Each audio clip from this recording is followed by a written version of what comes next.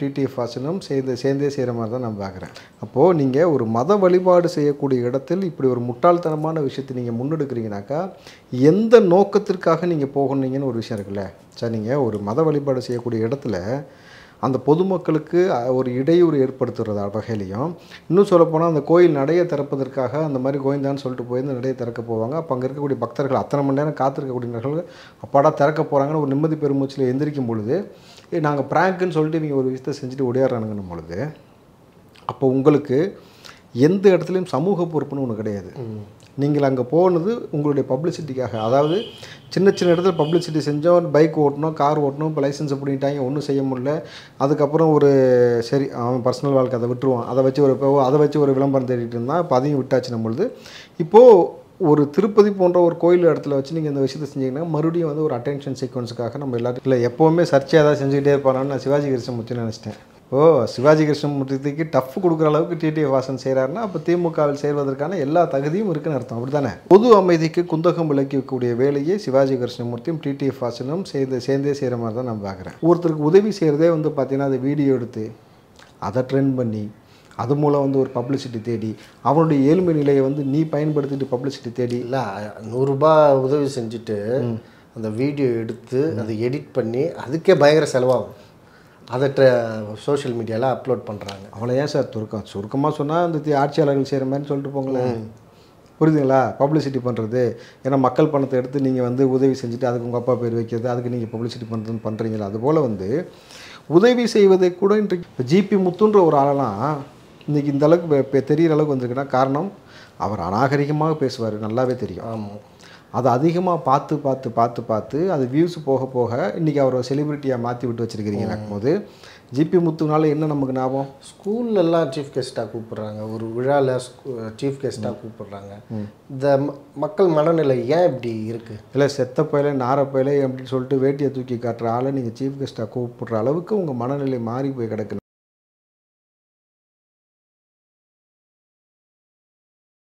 கிங்குட்ஸ் நேயர்களுக்கு வணக்கம். இன்றைய சிறப்பு நேர்காணலில் நம்மோடு இணைந்திருப்பவர் காங்கிரஸ் கட்சியை சேர்ந்த திரு ராவுத்தர் இப்ராஹிம் அவர்கள். வணக்கம் சார். வணக்கம் சார் நான். எப்பயுமே ஒரு சர்ச்சைக்குரிய நபராகவே வலம் வருபவர் டிடிஎஃப் வாசன். இப்போ ஒரு சம்பவம் பண்ணியிருக்காரு. நிறைய சம்பவம் பண்ணியிருக்காரு அவர். இப்போ என்ன பண்ணியிருக்காருன்னா திருப்பதிக்கு போயிருக்காரு. அங்கே போயிட்டு வீடியோ எடுத்து அங்கே ஒரு ப்ராங்க் பண்ணி அங்கே பொதுமக்களை ஒரு வெறுப்பேற்ற வெறுப்பேற்றுற மாதிரி பண்ணியிருக்காரு.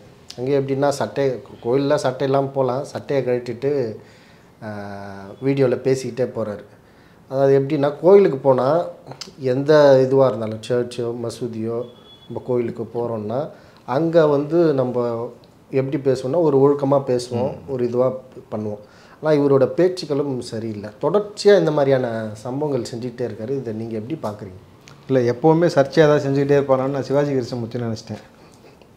ஓ சிவாஜி கிருஷ்ணமூர்த்திக்கு டஃப் கொடுக்குற அளவுக்கு டிடி வாசன் செய்கிறாருன்னா அப்போ திமுகவில் சேர்வதற்கான எல்லா தகுதியும் இருக்குன்னு அர்த்தம். அப்படிதானே ஏன்னா நீங்கள் பொது அமைதிக்கு குந்தகம் விளக்கக்கூடிய வேலையை சிவாஜி கிருஷ்ணமூர்த்தியும் டிடிஎஃப் வாசனும் சேர்ந்து சேர்ந்தே செய்கிற மாதிரி தான் நான் பார்க்குறேன். ஏன் சார் இந்த ரெண்டு ஒப்பீடு? ரொம்ப சரியான ஒப்பீடு தானே? நீங்கள் டிடிஎஃப் வாசனுக்கும் ஒரு ஒரு கூட்டம் இருக்குது ரசிகர் கூட்டம்.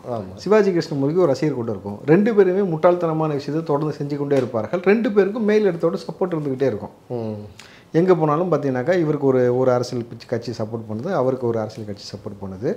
அப்போது நீங்கள் ஒரு மத வழிபாடு செய்யக்கூடிய இடத்தில் இப்படி ஒரு முட்டாள்தனமான விஷயத்தை நீங்கள் முன்னெடுக்கிறீங்கனாக்கா எந்த நோக்கத்திற்காக நீங்கள் போகணுங்கன்னு ஒரு விஷயம் இருக்குல்ல?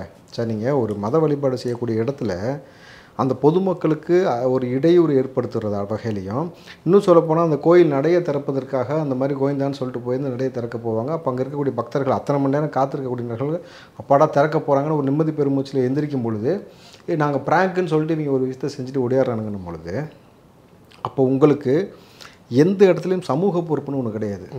நீங்கள் அங்கே போனது உங்களுடைய பப்ளிசிட்டிக்காக அதாவது சின்ன சின்ன இடத்துல பப்ளிசிட்டி செஞ்சோம் பைக் ஓட்டணும் கார் ஓட்டணும் இப்போ லைசன்ஸ் பிடிங்கிட்டாங்க ஒன்றும் செய்ய முடியல. அதுக்கப்புறம் ஒரு சரி அவன் பர்சனல் வாழ்க்கை அதை விட்டுருவான். அதை வச்சு ஒரு இப்போ அதை வச்சு ஒரு விளம்பரம் தேடிட்டு இருந்தான். இப்போ அதையும் விட்டாச்சு நம்மளுது. இப்போது ஒரு திருப்பதி போன்ற ஒரு கோயில் இடத்துல வச்சு நீங்கள் இந்த விஷயத்தை செஞ்சீங்கன்னா மறுபடியும் வந்து ஒரு அட்டென்ஷன் சீக்வன்ஸுக்காக நம்ம எல்லாத்தையும் நம்ம கவனிக்கப்படும்ன்றதுக்காக திட்டமிட்டு இப்படி ஒரு விஷயத்தை செய்றீங்க. அதாவது கோயிலுக்கு போகிறதுக்காக போகல அங்கே போயிட்டு இந்த மாதிரி சம்பவம் பண்ணல. இந்த மாதிரி சம்பவம் பண்ணுறதுக்காக தான் போயிருக்காரு. சரி இதை நீங்கள் பண்ணாமல் இதை இப்படி நீங்கள் பார்த்தீங்கன்னா திருப்பதிக்கு ஒரு நாளைக்கு எத்தனை லட்சம் பேர் போகிறாங்க ஆமாம் யாராவது இப்படி செய்கிறாங்களா இல்லை. அப்போது இப்போ இது திட்டமிட்டு பப்ளிசிட்டிக்காக நீங்கள் செஞ்சுக்கிட்டு இருக்கிறதா இருக்கட்டும் அப்போ இந்த மாதிரி விஷயத்தை செய்யக்கூடிய நபர்கள் வந்து இவர்கள் எல்லாமே வந்து சமூகத்தின் வந்து என்ன சொல்கிறது சமூகத்தின் சாபக்கேடு சமூகத்தின் வந்து இருக்கக்கூடிய இயற்கை கழிவுகள் இவர்கள்லாம். இந்த இந்த கழிவுகள் வந்து ஊருக்குள்ளே உலாத்துறதே வந்து பெரிய ஒரு தேவையில்லாத ஒரு விஷயமா தான் பார்க்குறேன். நீ வந்து ஒரு ஒரு நல்ல ஒரு விஷயம் புரிஞ்சுங்க. ஒருத்தருக்கு பின்னாடியே ஒரு ஃபேன் பேஸ் உருவாகிறதுன்றது சாதாரண விஷயம் கிடையாது. ஆமாம் அது எந்த துறையாக இருந்தாலும் சரி. நீங்கள் அரசியலாக இருக்கட்டும் சினிமாவாக இருக்கட்டும் அல்லது வந்து நீங்கள் வந்து கல்வியிலையாக இருக்கட்டும் எதுலேயுமே சரி. இன்றைக்கு ஒரு ஆசிரியரை வந்து ஸ்கூல்ல இருந்து சஸ்பெண்ட் பண்ணிட்டாங்க ட்ரான்ஸ்ஃபர் பண்ணதுக்கு ஒரு ஸ்கூலே இறங்கி போராடிச்சு மாணவ பிள்ளைகள். எங்களுக்கு இந்த ஆசிரியர் வேணும் இவர் மீது எந்த குற்றமும் இல்லை இவர் எங்களுக்கு வேணும்னு. அப்போது அந்த மாதிரி தான் உங்களுடைய ரசிகர்களுக்கு நீங்கள் ஒரு முன்மாதிரியாக இருக்கட்டும். உங்கள் பின்னாடி ஒரு பெரிய ஃபேன் பேஸ் ஒரு கூட்டம் உங்களை தேடி இருக்கும் பொழுது சார் இன்றைக்கி அஜித் நினச்சிருந்தா அதிமுகவில் வந்து அஜித் வந்து பெரிய ரோல் ப்ளே பண்ணியிருக்க முடியும். அரசியலுக்குள்ளே வந்து சார் இருக்கிறதுலே உச்சபட்ச அதிகாரம்ன்றது அரசியல் தான். அதிகாரத்தை கைப்பற்றக்கூடிய வேலையை அஜித் செஞ்சிருக்கலாம். ஆனால் அதை செய்யலை. அவர் இன்றைக்கி எந்த பக்கம் போயிருக்காரு? அவ்வளோ பெரிய ரசிகர் மன்றம் இருந்தாலும் எனக்கு வேணான்னு சொல்லிட்டு கலைச்சிட்டு. கலைச்சிட்டு நான் வந்து நீங்கள் உங்கள் வேலையை பாருங்கள் நான் நடிக்கிறேன். எனக்கு காசு கொடுக்குறேன். நான் என் வேலையை பார்க்குறேன். அப்படின்ற மாதிரி போயிட்டு அவருக்கு எந்த துறை பிடிக்குமோ இன்றைக்கு அந்த துறையில் வந்து நீங்கள் பார்த்தீங்கன்னா அந்த பைக்கில் வந்து எவ்வளோ பெரிய தனியாக ஒரு அதுக்குன்னு சொல்லி ஒரு செட்டப் ஆரம்பித்து கற்றுக் கொடுக்குற வேலையை செய்கிறாரு இன்னும் போனீங்கன்னாக்கா அதை தாண்டி அட்வான்ஸ்டாக வந்து இந்த ட்ரோன்ஸுங்க செய்கிறது அது இராணுவத்திற்கும் காவல்துறைக்கும் பயன்பாட்டுக்குரிய அந்த ட்ரோனெல்லாம் உருவாக்குறது அப்போ அறிவு சார்ந்து அறம் சார்ந்து அப்படி ஒரு முன்னெடுப்பு எடுத்து அவர் செஞ்சுக்கிட்டு இருக்கிறாரு. இந்த பக்கம் விஜய் வந்து இத்தனை ஆண்டு காலமாக சம்பாரிச்சிட்டோம் சினிமாவில் நான் பார்க்காத விஷயமே கிடையாது. உச்சபட்ச பணம் பேர் புகழ் ரசிகர் கூட்டம் எல்லாத்தையும் பார்த்துட்டேன். அப்போ ஒரு படத்துக்கு வந்து சாதாரணமாக மூணு மாதம் நடித்தாக்க ஒரு படத்துக்கு நூற்றம்பது கோடி சம்பளத்தை விட்டுட்டு இன்றைக்கு இந்த பொதுமக்களுக்கு ஏதாவது நல்லது செய்வோம். இன்றைக்கு அரசியல் சூழல் எப்படி இருக்குனாக்கா ஒரு கருத்தியல் ரீதியாக நம்ம சொன்னாலே அரெஸ்ட் பண்ணுறாங்க மீம்ஸ் போடலாம் அரெஸ்ட் பண்ணுறாங்க அவ்வளோ கொடுங்கோல் ஆட்சி போயிட்டு இருக்க இடத்துல இன்றைக்கி ஒரு சவாலை எதிர்கொண்டு இன்றைக்கி வந்து உள்ளே வந்து மக்களுக்கு ஏதாவது செய்யலான்னு ஒரு முன்னெடுக்கிறாங்க. அப்போ அதே போல் உங்களுக்குன்னு ஒரு ரசிகர் கூட்டம் இருக்கணும் போது நீங்கள் அது சார்ந்து போகணும்.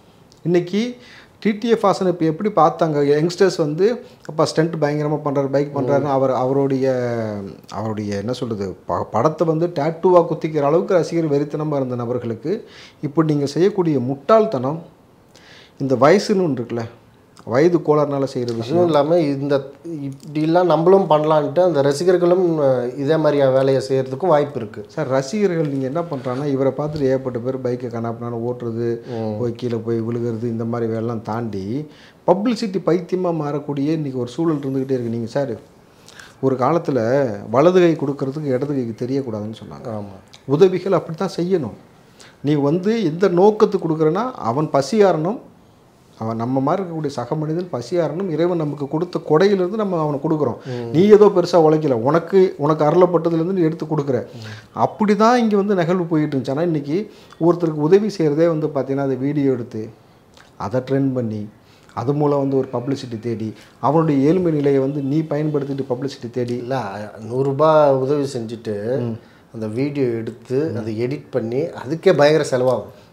அதை சோஷியல் மீடியாவில் அப்லோட் பண்ணுறாங்க அவ்வளோ ஏன் சார் சுருக்கம் சுருக்கமாக சொன்னால் இந்த தி- ஆட்சியாளர்கள் செய்கிற மாதிரி சொல்லிட்டு போங்களேன் புரியுதுங்களா? பப்ளிசிட்டி பண்ணுறது ஏன்னா மக்கள் பணத்தை எடுத்து நீங்கள் வந்து உதவி செஞ்சுட்டு அதுக்கு உங்கள் அப்பா பேர் வைக்கிறது அதுக்கு நீங்கள் பப்ளிசிட்டி பண்ணுறதுன்னு பண்ணுறீங்களா அதுபோல் வந்து உதவி செய்வதை கூட இன்றைக்கு விளம்பரமாக செய்யக்கூடிய கலாச்சாரத்தை உருவாக்கி வச்சுருக்கிறீங்க. சாப்பிட்றத வீடியோ எடுக்கிற குளிக்கிறத வீடியோ எடுக்கிற வெட்டிங் ஷூட்னு ஒன்று வீடியோ எடுக்கிற ப்ரீ வெட்டிங்னு ஒரு வீடியோ எடுக்கிற எதைத்தான் சார் வீடியோ எடுக்கல? எல்லாத்தையுமே அந்தரங்க வாழ்க்கையில் கணவன் மனைவி இருக்கிறத தவிர்த்து நீங்கள் எடுக்கிறீங்க. அதையும் தனியாக வீடியோ எடுத்து ஒரு படமாக போடுறாங்கன்னு வச்சுங்க அது வேறு பொழப்புன்னு வச்சிங்களேன். அப்போது இன்றைக்கு எல்லாமே இந்த மோகத்தில் மூழ்கிட்டீங்க. நீங்கள் ட்ரெண்டுன்னு சொல்லி பேசி இன்றைக்கி எப்படி ஆகிப்போச்சுன்னா சமூகம் வந்து தொடர்ச்சியாக எதை பார்க்கணுமோ அதை பார்க்காமல் எதெல்லாம் தேவையில்லையோ அதுக்கு அட்டென்ஷன் இன்றைக்கி கொடுக்க ஆரம்பிச்சிட்டிங்க. இப்போ ஜிபி முத்துன்ற ஒரு ஆளெல்லாம் இன்றைக்கி இந்த அளவுக்கு பெ- பெ- தெரியிற அளவுக்கு வந்திருக்குன்னா காரணம் அவர் அநாகரிகமாக பேசுவார் நல்லாவே தெரியும். ஆமாம் அதை அதிகமாக பார்த்து பார்த்து பார்த்து பார்த்து அது வியூஸ் போக போக இன்றைக்கி அவரை செலிபிரிட்டியாக மாற்றி விட்டு வச்சுருக்கிறீங்க போது ஜிபி முத்துனால என்ன நமக்கு ஞாபகம்? ஸ்கூல்லலாம் சீஃப் கெஸ்ட்டாக கூப்பிடுறாங்க. ஒரு விழாவில் சீஃப் கெஸ்ட்டாக கூப்பிடுறாங்க. இந்த மக்கள் மனநிலை ஏன் இப்படி இருக்குது இல்லை செத்த பயில நார பயில அப்படின்னு சொல்லிட்டு வேட்டியை தூக்கி காட்டுற ஆளை நீங்கள் சீஃப் கெஸ்ட்டாக கூப்பிடுற அளவுக்கு உங்கள் மனநிலை மாறி போய் கிடக்குனாக்கா சமூகத்தில் நமக்கு அந்த சிந்தனை திறன் குறைஞ்சிருக்கு. அந்த ஆற்றல் குறைஞ்சிருக்கு. யாரை புறக்கணிக்கும்ன்ற அந்த விழிப்புணர்வு உங்களுக்கு இல்லை. யார் இந்த சமூகத்திற்கு சீர்கேடு ஏற்படுத்துகிறானோ ஏதோ ஒரு வகையில் அவன் பப்ளிசிட்டி ஆகிட்டானா அவனை கூப்பிட்டு வச்சு நீங்கள் ஒரு விளம்பரம் தேடிக்க விரும்புறீங்க. அப்போ ஓவராலாக நீங்கள் என்ன நினைக்கிறீங்கனாக்கா அவனை வச்சு நம்ம விளம்பரத்தை நம்ம வச்சு நம்ம விளம்பரத்தை நம்மளை அடையாளப்படுத்திக்கணும்னா உங்களுடைய தனித்திறமையை வெளிக்காட்டணும். தனித்தன்மையை வெளிக்காட்டணும். அதை விட்டுட்டு அநாகரிகமாக செய்யக்கூடிய நபர்களை கவனிக்க ஆரம்பிக்கிறீங்க. சார் நீங்கள் கேவலமாக பேசக்கூடிய நபர்கள் கேவலம் கேவலமாக மக்கள்கிட்ட பைட்ஸ் எடுக்கக்கூடிய நபர்கள் இவங்க எல்லாத்தையும் நீங்கள் செலிபிரிட்டியை மாற்றி வச்சுருக்கிறீங்க. புரியுதுங்களா? ஒருத்தன் வந்து சாப்பாடு சா கடையில் இருக்கக்கூடியதை போய் ஒரு ரிவ்யூ எடுத்து போடுறான்.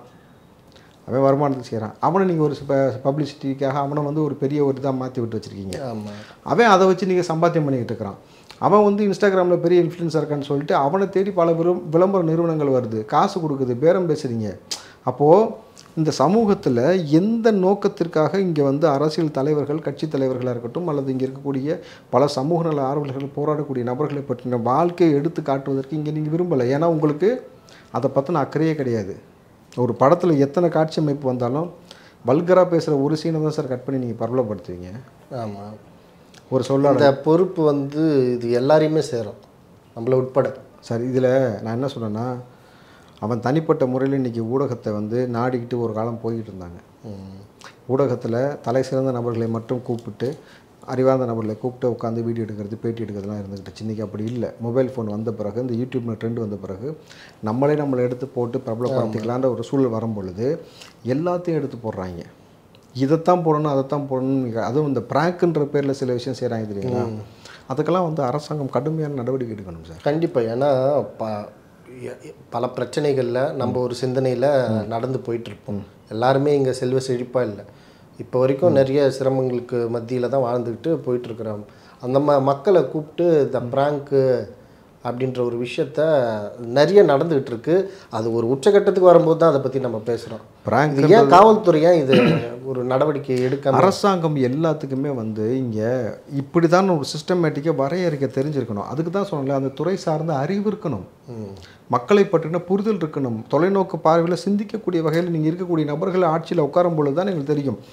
காமராஜர் ஆறாவது மட்டுமே படிச்சிருந்தாலும் பதினெட்டாயிரம் ஸ்கூலை உருவாக்குனார். யார் படிப்புக்கு எது தடையாக இருக்கிறது? வறுமையும் உணவும். அந்த உணவை நான் கொடுக்குறேன்பா அப்படி தானே ஆரம்பித்தார் ஒரு கிங் மேக்கரை உருவாக்குனாரு. இந்த சிந்தனை இந்த தாட் ப்ராசஸ் உங்களுக்கு இருக்கணும். நேர்மை இருக்கணும். குறைஞ்சபட்ச நேர்மை இருக்கணும். அவர் ஒரு எம்பியாக இருந்து இறக்கும்போது வெறும் நூற்றி அறுபது ரூபா கையில் இருந்துச்சுனாக்கா சொந்தமாக வீடு கிடையாது சொத்து கிடையாது நம்ம பொழுது. இப்படிப்பட்ட தலைவர்களை அடையாளப்படுத்த தவறி விட்டு கண்ட நபர்களாம் வளர்த்து விடுறீங்க. ஒரு பொது ஊடகத்தில் போயிட்டு வந்து நீ பாய் பெஸ்ட் எத்தனை வச்சுருக்க? லவ்வர் எத்தனை வச்சுருக்கிற? என்ன செய்வ? இது ஒரு கேள்வியா சார்? அநாகரிகத்துடைய உச்சமில் கலாச்சார சீர்கேடு தமிழ்நாடு தான் நீங்கள் பார்த்தீங்கன்னாக்கா கலாச்சாரத்திற்கே உரிய நாடாக திகழ்ந்தது. இப்படி தான் வாழணும். ஒருத்தனுக்கு ஒருத்தின் வாழ்ந்துக்கிட்டு இருந்தக்கூடிய இந்த கலாச்சாரத்தில் கூட்டு குடும்பம்ன்ற கலாச்சாரத்தில் இன்றைக்கி கூட்டு குடும்பம்ன்ற ஒன்று இல்லை. செதஞ்சு போயிடுச்சு கலாச்சார சீர்கேடு ரொம்ப செலஞ்சு போச்சு. ரொம்ப சாதாரணமாக பொது வெளியில் வந்து நீங்கள் போயிட்டு எத்தனை பாய் ஃப்ரெண்ட் வச்சுருக்க எத்தனை பாய் பெஸ்ட் வச்சுருக்க அவன் என்ன செய்வான் எங்கே போவீங்க என்ன பண்ணுவீங்க இதெல்லாம் தேவையா? இது அவசியமா? அப்போது உங்கள் பிழைப்புக்காக எதை வேணாலும் பேசி பப்ளிசிட்டி பண்ணலான்ற ஒரு மனநிலை வளர்ந்த பிறகு இது எல்லாத்தையும் எப்படி கண்ட்ரோல் பண்ண முடியும்னா ஆட்சியாளர்கள் நினச்சா மட்டும்தான் செய்ய முடியும். டிடிஎஃப் வாசன் மேலே தொடர்ச்சியாக வழக்கு பதியப்பட்டு ஒரு சிறையிலையும் இருந்திருக்காரு. இருந்தாலுமே இந்த மாதிரியான சர்ச்சை நம்ம மாட்டோம் தெரிஞ்சே இதெல்லாம் பண்ணுறாப்புலன்னா என்ன என்ன நோக்கம்? அதாவது ட்ரெண்டில் இருக்கணுன்ற நோக்கத்தை தாண்டி வேற என்ன சாதிக்க இதெல்லாம் பண்ணிட்டு? பத்து காசுக்கு பிரயோஜனப்படாது சார். இதெல்லாம் வந்து இதுக்கு அடிமைப்பட்டு போயிருக்காங்கன்னு பார்க்கணுமா? சார் இது உளவியல் சிக்கல் இது உளவியல் சிக்கல் இது முழுக்க முழுக்க. நீங்கள் ஒன்றும் இல்லை சார் நான் கேட்குறேன் இன்றைக்கி என்கவுண்டர் செய்யப்பட்டார்ல? ஆமாம் ஒரு ரெண்டு என்கவுண்டர் நடந்துச்சு. இப்போ வீடுதோறும் வந்து காவல்துறை ஏறி எந்த எந்தெந்த குற்ற குற்றப்பணியில் உள்ளவங்க எல்லாத்துக்கும் பகிரங்க வார்னிங் கொடுக்குறாங்க. இனிமேல் நீ மூடிட்டு இல்லை இருக்கக்கூடிய வீடெல்லாம் சர்ச் பண்ணி ஆயுதத்தை பறிமுதல் செஞ்சுக்கிட்டு இருக்கிறாங்க. மூடிட்டு இல்லைன்னா அடுத்து வந்து கைகாலை உடச்சிருவோம் இல்லை என்கவுண்டர் பண்ணிடுவோம் பொழுது அவங்களுக்கு நடுக்கம் ஏற்படுது இப்போ. அப்படி சட்டத்தில் இங்கே உட்காந்து ஆட்சியாளர்கள் ஒரு அரசாணை வெளியிடணும். யூடியூபர்ஸ் இந்த மாதிரியான வேலைகளை அநாகரிகமான பதிவீடுகள் செஞ்சீங்கன்னா உங்களால் காவல்துறை வச்சு அரெஸ்ட் பண்ணப்படுவோம். இது பொது அமைதிக்கும் இந்த கலாச்சார சீர்கேடுக்கும் வித்திடுகிறது. இதை வந்து நீங்கள் சரி செஞ்சுக்கணும் அப்படின்னு சொல்லி சட்டம் கடுமையாக இருந்து நாலு பேர் இந்த மாதிரி போய் அநாகரிகமாக பேட்டி எடுக்கக்கூடிய நபர்களை தூக்கி உள்ள வைங்க. அடுத்து புதுசாக ஒருத்தன் முளைப்பானா? கண்டிப்பாக கிடையாது. அப்போ சட்டம் இங்கே வந்து லெத்தாஜிக்னஸாக இருக்குது அப்போது நீங்கள் வந்து இந்த மாதிரி ஒரு சட்டம் போடும்போது இவன் பொதுமக்கள் திரும்ப கேள்வி எழுப்பான்ல நீ ஏன் டெட்ரா பேக்கை கொண்டு வர? நீ ஏன் வந்து சாராயத்தை இப்படி ஊக்குவிக்கிற?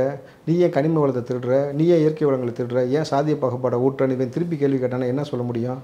அதுக்கு பயந்துக்கிட்டு அவங்க அமைதியாக போகிறாங்க அப்போ இப்படி ஒரு இது இருக்கிறதுக்கான மோசமான காரணம் எல்லாத்துக்குமே ஆட்சி தான் சார். நீங்கள் ஆட்சியாளர்களில் உட்காந்துருக்கக்கூடிய நபர்கள் கரெக்டான சிஸ்டமேட்டிக்காக ஒரு விஷயத்தை வந்து ஒரு சட்டத்தை வடிவமைச்சு இப்படி தான்றது நீங்கள் ரூல்ஸை ஃபாலோ பண்ண வச்சு இதற்கு அவங்க தூய்மையானவர்களாக இருக்கணும். ஃபஸ்ட்டு இதெல்லாம் குறைஞ்சபட்சம்.